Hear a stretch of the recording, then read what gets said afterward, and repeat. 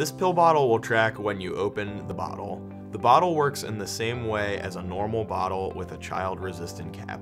To open, you will push down and turn counterclockwise. To close, turn the cap clockwise until secure. The bottle will briefly light up each time you remove the cap. Please be sure the cap is securely attached after each use. It's electronic, so it's important you keep it away from water.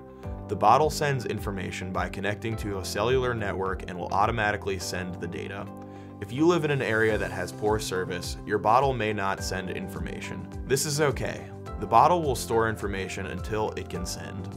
If this is the case, please bring the bottle with you when you travel someplace with better cellular service. The study group will notify you if we are having trouble receiving data because of your cellular service.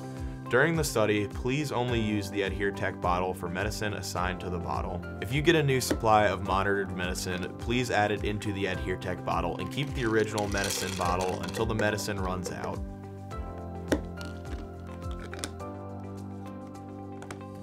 At the end of the study, you will need to transfer your medicine back into the original pill bottle. When your bottle is low in battery, the study team will notify you. Please use the USB charging cord we provide to recharge the bottle by inserting the cord into the charging port, which is located behind the white rubber flap on the bottom of the bottle. It will take approximately 8 hours to fully recharge the bottle. Please contact the study team if you have questions about the bottle. As a reminder, you are to follow your doctor's instructions for taking your medicine.